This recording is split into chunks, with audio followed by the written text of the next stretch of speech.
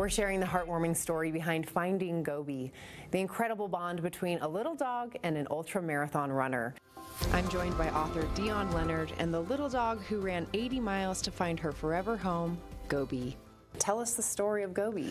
Yeah, out of nowhere, this little dog joins the race.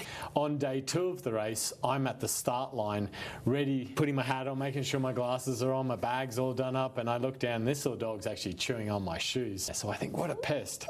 And uh, yeah, that's how it all begins. Out of nowhere, she sort of chooses me from the other 100 runners, and we start running on day two together. It wouldn't really be till day three, though, where I have a chance to take the lead, or I go back and help Gobi across a large river crossing Oh. that she can't cross on her own, that I decide to go back and help the dog rather than taking the lead.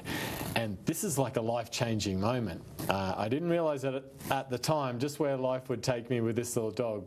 And then the story doesn't end there. She was in China after the race had finished. She couldn't come home with me straight away and ended up going missing in a big city of over three and a half million people. So I flew back to China to search for her, set up a search and volunteer team, putting up posters. And uh, yeah, soon I had hundreds of people searching for Gobi through the street. And I thought really I was never going to see her again. And then I received a phone call from a man and his son who'd been walking through a park, seen all the missing posters up everywhere. Uh, six weeks later, she was alive.